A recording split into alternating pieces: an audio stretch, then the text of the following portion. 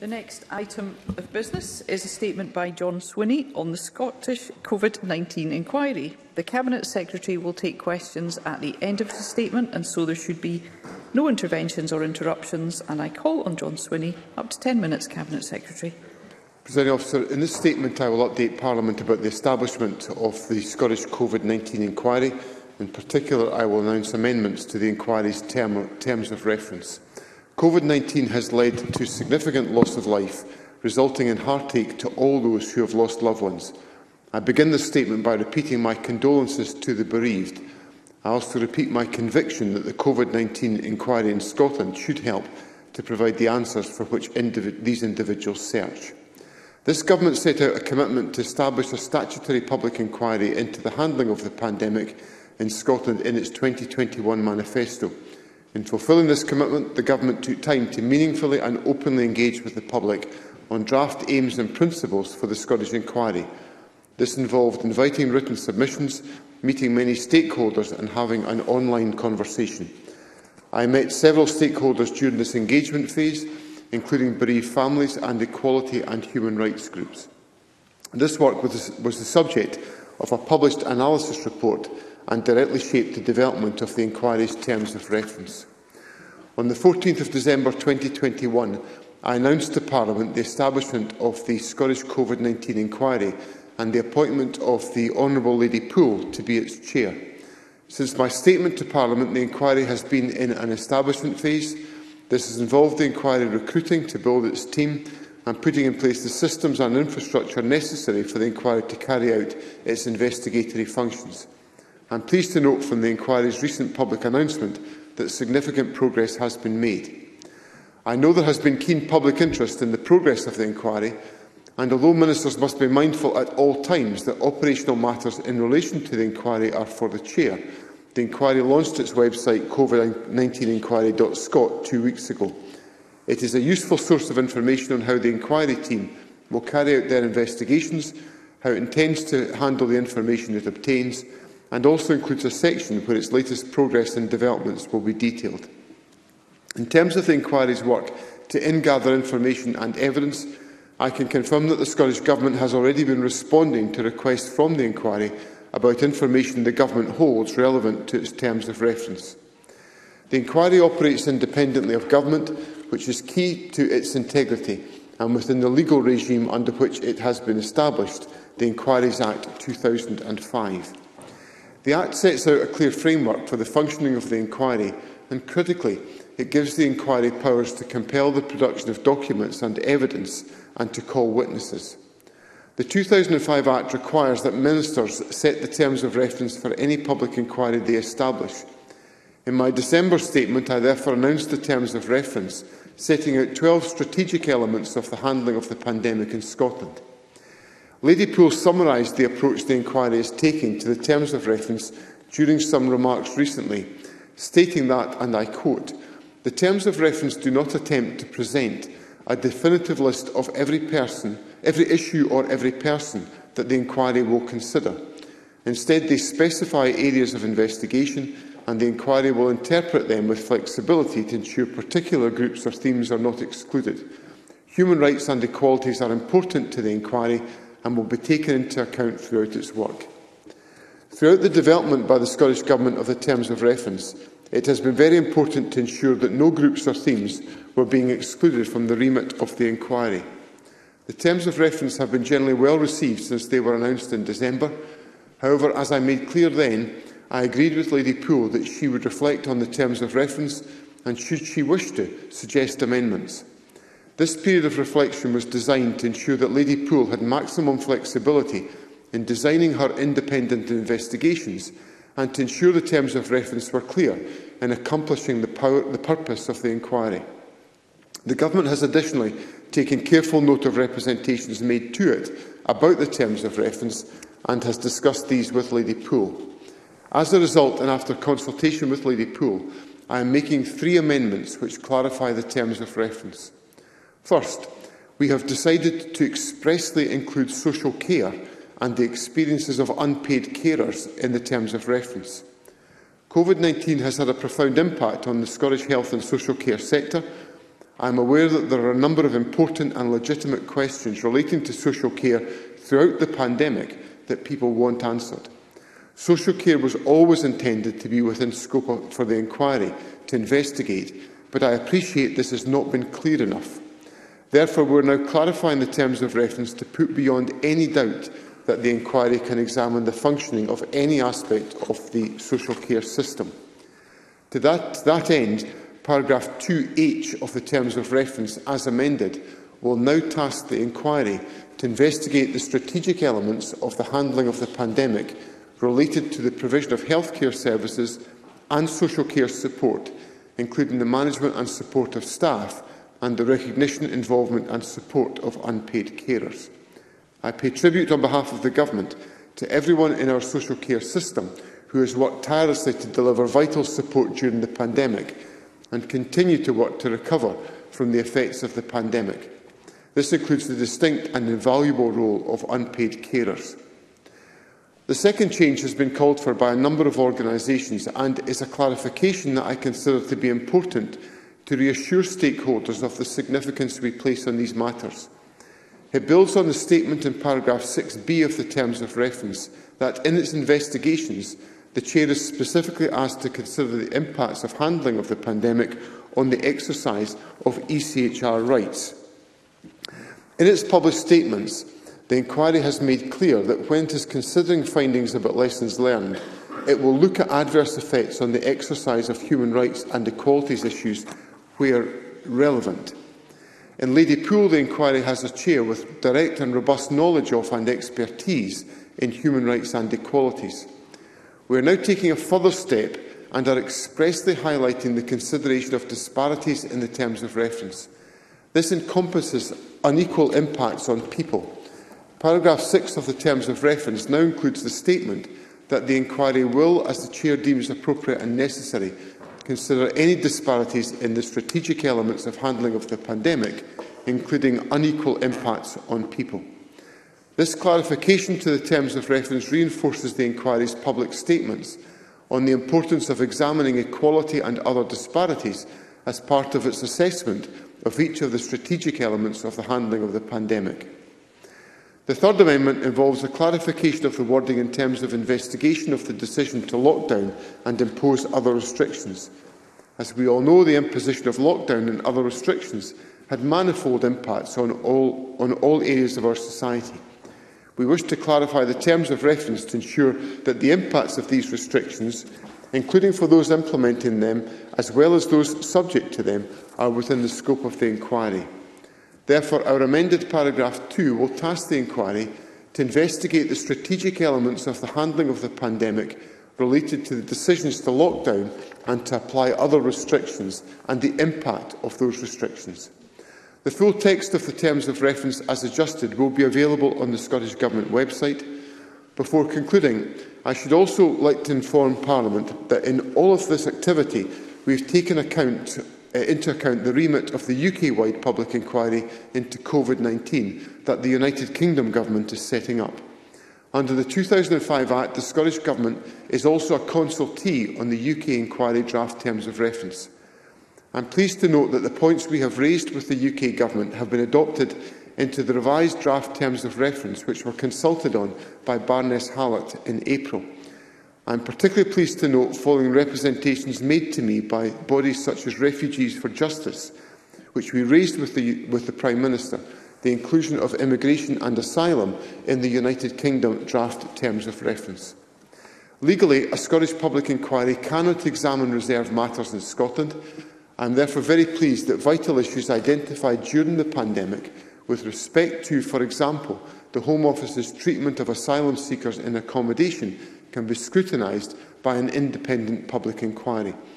We remain committed to working with the United Kingdom Government on the UK-wide inquiry and expect liaison between the inquiries as indicated in both the Scottish and UK inquiry terms of reference. Presiding officer, the Scottish COVID-19 inquiry has said it will carry out a fair, open and thorough investigation to establish what lessons should be learnt from the strategic response to the pandemic. That is no less than what is needed and I hope these terms of reference amendments further equip the inquiry to achieve this objective. I again pledge the Scottish Government's full engagement, as I know this Parliament and the people of Scotland will, to support Lady Poole in this vital task. Thank you. The Cabinet Secretary will now take questions on the issues raised in his statement. I intend to allow around 20 minutes for questions, after which we'll move on to the next item of business. I'd be grateful if members who wish to ask a question were to press their request to speak button now. And I call Sandesh Gulhani. I welcome the statement on the inquiry into the handling of the COVID-19 pandemic and would like to thank the Scottish Government for keeping to their commitment This is unlike Wales, where the Labour government is refusing to carry out a similar inquiry. NHS and social care staff have played a vital and enduring role during the COVID-19 pandemic, and like my colleagues on these benches, I would like to reiterate my thanks for their efforts and continued resilience as we begin rebuilding from the pandemic. This inquiry in no way looks to undermine the valuable work that NHS and social care staff did during those dark days. I echo the importance of finding answers around the handling of the pandemic, with so many of us touched by the loss of loved ones. The scope and scale of this inquiry is probably the largest ever conducted, and whilst Lady Poole has the autonomy to make her own decisions, has the Scottish Government asked for indicative reporting milestones because the public will want to know the timescales? Scottish inquiries are notoriously slow to get started, with the Edinburgh Tram inquiry into its eighth year And this could be due to a lack of infrastructure, including not having an initial building, website or IT infrastructure. So what support will the Scottish Government, government give Lady Poole for the fundamentals to get this inquiry off the ground? And, and finally, is there a mechanism in place to allow Lady Poole to request additional resources if in due course she requires it? Cabinet Secretary. If, if Dr Gahani will forgive me, I, I think I'll, uh, in due respect to the fact the Labour Party don't like me talking about Wales, I won't talk about Wales. Um, but in relation to the substantive issues that Dr Gahani raises with me, I, I associate myself with all that he said about the contribution of health and social care staff during the pandemic. And um, whilst all of us appreciate and value everything that was done, the purpose of this inquiry is to learn lessons, and if that involves us having to explore and examine what was done um, uh, well or what could have done, been done better, that is the purpose of the inquiry, and we should be open to that scrutiny. On the practical issues that Dr Gohani raises with me about reporting timescales, resources for the inquiry, accommodation and support for the inquiry, these are all essentially operational matters for Lady Pool, it would be inappropriate of me to specify reporting timescales, other than the fact that obviously I have made clear to Lady Pool that the government is anxious to hear conclusions from her inquiry at the earliest possible opportunity. But we must respect her independence, the approach that she designs to take to, um, to reflect on the terms of reference and to pursue the terms of reference and to report accordingly. I would point out, of course, that in the range of different inquiries that we have established, there have been different approaches taken to reporting. Some inquiries have decided to report at the conclusion of their proceedings. Others, the Scottish Child Abuse Inquiry, for example, reports on an interim basis on case studies. So the choice is there for Lady Poole to decide what's the most appropriate reporting structures, and it's an essential part of her independence that she's able to do so. Thank you, Bailey. Um, Presiding officer, let me echo John Swinney's comments and send my condolences to all those who have lost loved ones during the pandemic.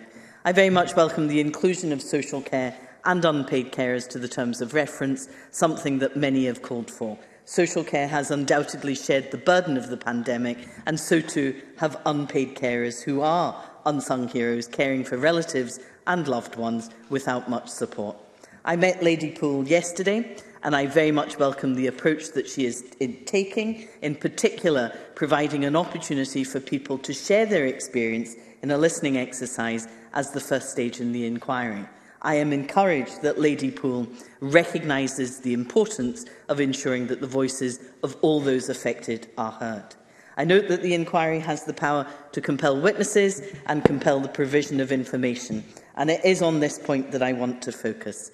The Scottish Government, unfortunately, does have form here. They're not known for their openness and transparency. Indeed, it's one thing to withhold information from a parliamentary committee, but to withhold it from the Court of Session is quite another. So can the Deputy First Minister guarantee to this Parliament, and much more importantly, to all those families who have lost loved ones, that every single piece of information that Lady Poole requires to do her job will in fact be provided? Cabinet Secretary. Uh, first of all, I'm pleased to hear that uh, Jackie Bailey has had a constructive meeting with Lady Poole. I'm not surprised uh, to hear that, um, but I'm very pleased to hear it. I'm also very much welcome her reflection that what she took from that conversation is the importance, which I have felt in my conversations with Lady Poole as well, of the importance that Lady Poole attaches to hearing the voices of those who have been affected. And, it's, and I think the mechanisms that she is developing for that to be the case I hope will help to assist in the process of healing which has to be which this inquiry has to be part of. Um, Jackie Billy um, uh, asks about the supply of information. The government will comply um, fully with all requests for information from uh, Lady Poole and the inquiry. We have started to do that already, and we will. Uh, we've had some requests. We've responded to those and there will be more requests that will come, and we will, require, we will reply um, and respond to the fullest extent we possibly can.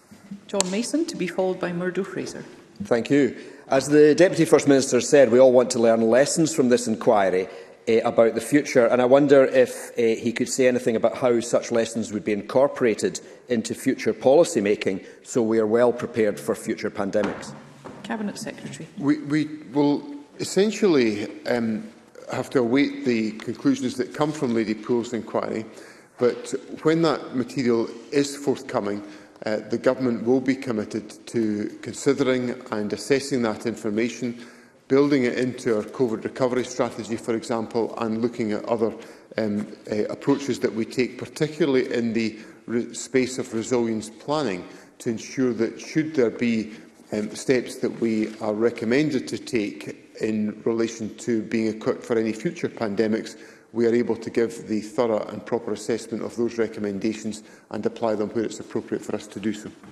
Murdo Fraser, to be followed by Stephanie Callaghan.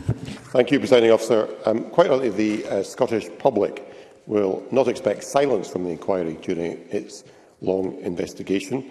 Regular updates, communications and perhaps even interim reports were required to be issued, as has been the case with other public inquiries, as the Cabinet Secretary has just uh, acknowledged.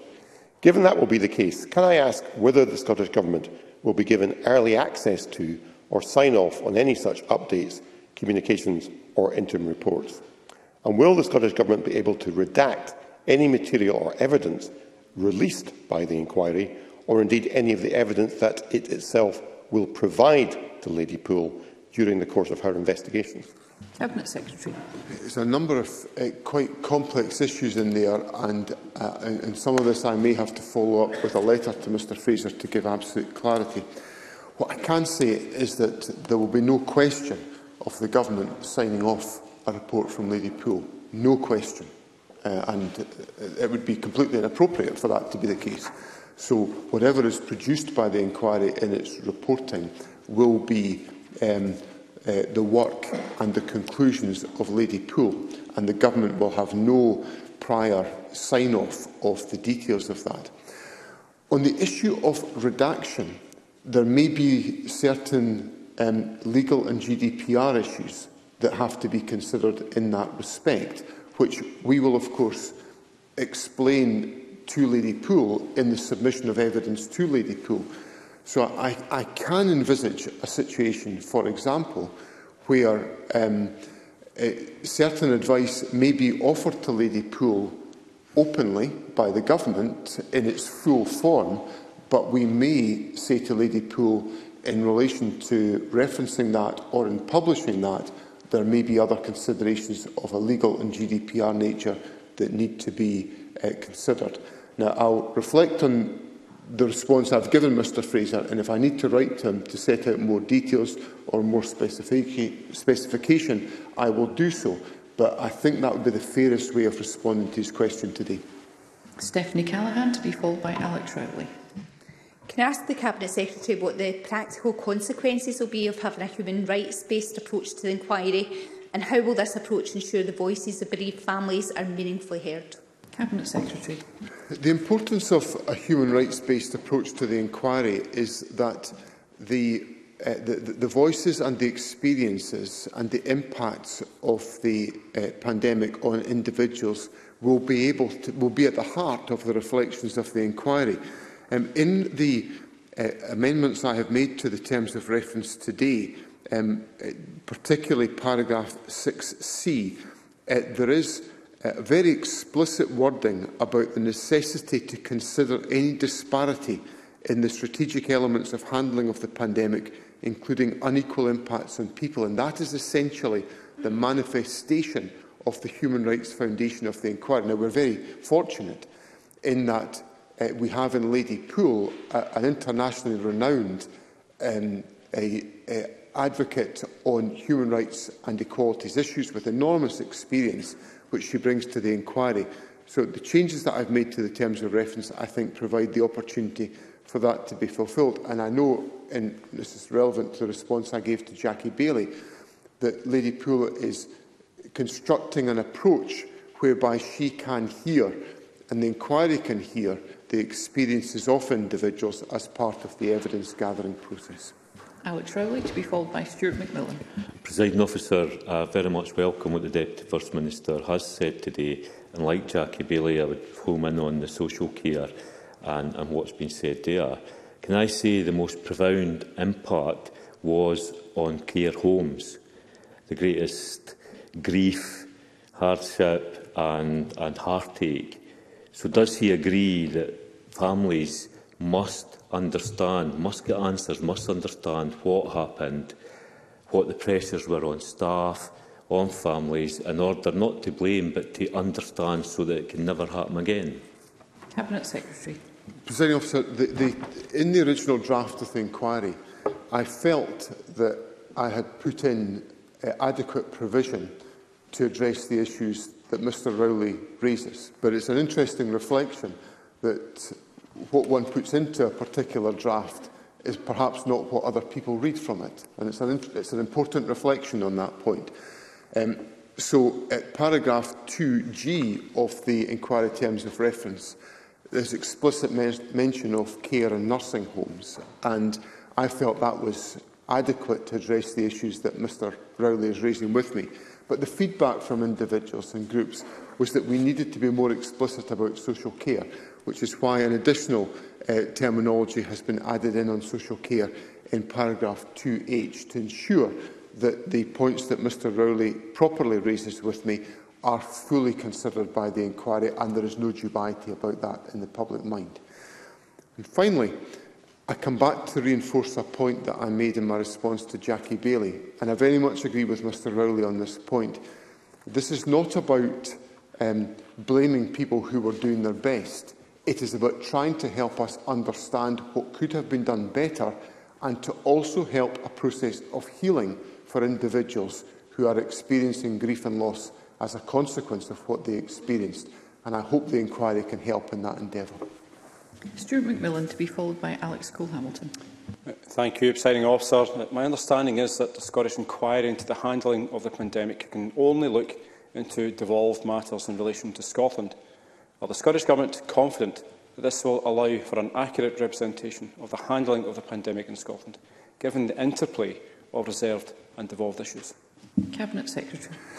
I think there's a... The, the, the, essentially, the, the, the, to, to give a full answer to Mr McMillan's question, I think we'd have to, we would ha I would have to say that the conclusions of both the Scottish and the UK inquiries will give hopefully a complete picture because there will be issues that the Scottish inquiry is prevented from looking at because of the terms of the Inquiries Act. Having said that, on the issues that we have raised with the United Kingdom Government, which we have been keen to see referenced in the UK terms of reference, there has been a positive response from Barnes Hallett, and I very much welcome that.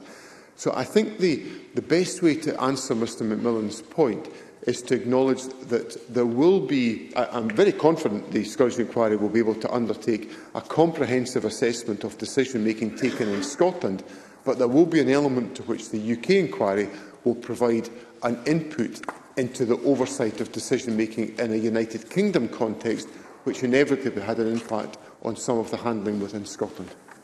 Alex Cole-Hamilton to be followed by Colette Stevenson. Thank you very much, Presiding Officer. I was very gratified to meet with Lady Poole yesterday, and I think we should all have justifiable confidence in her ability to perform this work. Presiding Officer, the listening exercise that she's about to embark on will provide catharsis for many of the 15,000 families of, who are grieving lost uh, loved ones, and the many more families of, who are uh, families of care home re uh, residents. Uh, but there are so many stories in that listening exercise that only a tiny fraction will make it into uh, overall report. So can I ask the uh, Deputy First Minister what consideration his government might uh, give to creating something like a national book of remembrance for those stories that can't be captured in Lady Poole's final report, but can give those families that ultimate closure? Cabinet Secretary. Uh, I, I, I think there's uh, a, a lot of merit in exploring the point that Mr Cole Hamilton has put to me, and there is discussion being undertaken about the appropriate commemoration of the suffering in the pandemic. Indeed, uh, just a couple of weeks ago, uh, I attended the opening, the inauguration of uh, the start of a memorial in Pollock Park in Glasgow, uh, which is a beautifully designed um, set of wooden memorial sculptures. Um, uh, and it's been drawn together under the auspices of the, Her the instigation of the Herald newspaper Um, Alec Finlay, the uh, artist uh, behind the venture, um, gave a compelling account of the development.